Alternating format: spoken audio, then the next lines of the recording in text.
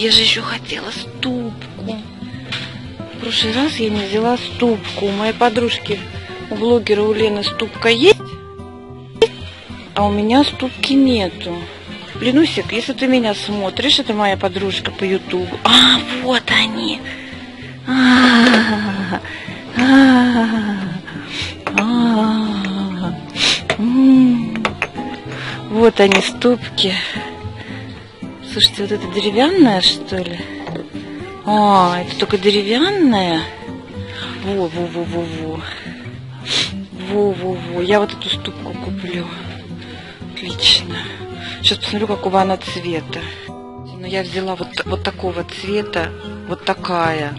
Очень красивая.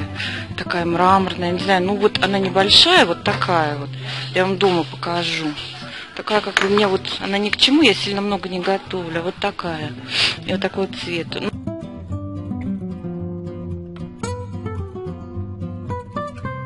Ну, не знаю, я посмотрю вам по чеку, сколько это, сколько это стоит. Так, а вообще я приехал за мясорубкой. Вот, такая мясорубка.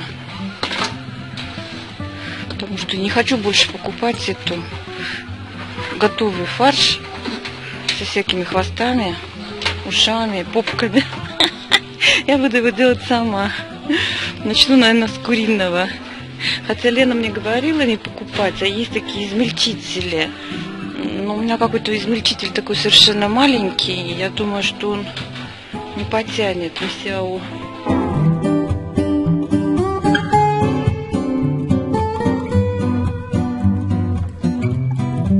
Ну что, хватит есть фарш из магазина. Я это делала очень часто. Надоело уже покупать то, что там продают сделанные из хвостов, ушек, попок и всего остального, я решила, что фарш я буду делать сама. А, вот пришлось купить э, мясорубку, тем более, что сейчас после новогодних праздников везде распродажи. Я зашла в магазин Галамарт, я его уже просто обожаю. Там можно купить много что по хозяйству, а я такая э, дама хозяйственная. И приобрела вот мясорубку вот этой фирмы, кстати, у меня уже тоже куплена в Галамарте вот эта вот а, мультиварка, она уже у меня около года, э, просто не нарадуюсь, я вам честно скажу, просто не нарадуюсь. Для таких лентяек, в общем-то, хозяйственных лентяек, как я, это само то. Ну что, давайте попробуем ее посмотреть, что там за а, части, которые надо сейчас собирать все вместе, и попробуем уже сделать первый фарш. Все такое беленькое, классненькое. Приятненькое. Так, первая часть. Еще какая-то вот коробочка. Сейчас я ее распакую и буду собирать. Так, в коробочке оказались вот такая штучка. Это дополнительная, скорее всего, для более крупного, для более мелкого фарша. Э, вот какая-то неизвестный мне агрегатик. И вот этот еще неизвестный мне агрегатик. Ну что, для того, чтобы все это собрать, понимаю, что надо тебе прочитать инструкцию. Вам-то легко. Вы сейчас посмотрите мое видео и все соберете. Так, я поместила туда внутрь вот эту штучку. Повернула до щелчка. Теперь помещаю винт длинненьким концом туда.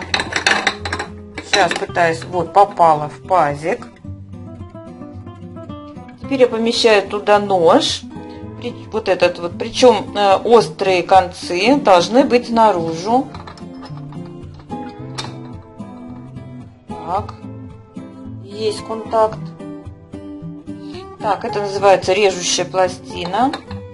Естественно, тут мы помещаем, как раньше собирали старую мясорубку ручную, соединив вот эти вот, вот эти вот штучки. Соединили. Ну и слава богу. Слушайте, все такое легкое. Я помню просто какая тяжелая мясорубка ручная. Тут металл какой-то такой. Нас чугунные делали, что ли, раньше. Так, чтобы вот эту э, головку, они ее называют, опять снять, надо нажать вот на этот фиксатор и повернуть головку вот так вот сюда. И тогда она вытащится. Без нажатия, естественно, эта головка не поворачивается никуда. Но одной рукой я не могу сделать, Здесь, в принципе, видите, все нарисовано. А, я почитала вот это вот насадка для сосисок. Это я вряд ли буду делать. И вот это вот такая штучечка, вот она, это насадка для кибе. Что такое кибе, кто не знает? Кебабы я знаю, а кибе не знаю. А, значит, это поддон. Его мы вот сюда ставим. В принципе, он хорошо стоит, не падает. И в моем понимании, в моем понимании, в общем-то, все это дело уже собрано. Если мы убираем эти насадки, которые нам не нужны. Так, до свидания насадкам. Не выбрали мелкую. Все, по идее, как бы вот таким образом это толкатель. И все. Ну что, попробуем, посмотрим, сколько здесь режимов. Здесь а, ну, наверное, один режим включен, а еще реверс есть режим. И написано, что обязательно, прежде чем а, в розетку это дело включать, должно быть выключено. Ну, нулик выключено, он включено, это назад реверс. Ну, в принципе, ничего сложного. Итак, попробуем. Я купила а, куриное мясо. Хотела, правда, грудки купить, но получилось бедра. Сейчас нарежу поменьше кусочками. Ну, в принципе, вот такой кусочек должен быть, чтобы туда влез. И попробую сделать первое фарш.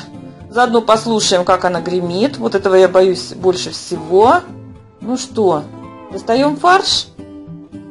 Пока я еще не включила ее. Я только это сейчас дело поняла. Внизу у нее вот такие вот ножки. Это присоски. Вот если как бы прижать, то послушайте видите? То есть она присасывается к поверхности. Вот еще раз. То есть никуда не убежит. Это хорошо. Ну что, фарш у меня классический будет. Куриное мясо я порезала маленькими кусочками. Лук. Картошку я добавляю для сочности этого мяса. Ну, естественно, обычный черный перчик. Ну что, давайте попробуем, как же она жужжит. Так, ну попробуем. Так, я уже тут попробовала. Давайте попробуем еще раз.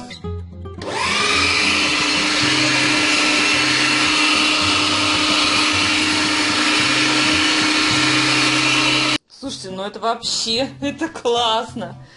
Наконец-то я сделаю фарш, в котором буду на сто процентов уверена, что он не сделан неизвестно из чего. В магазине обычно я люблю котлетки делать.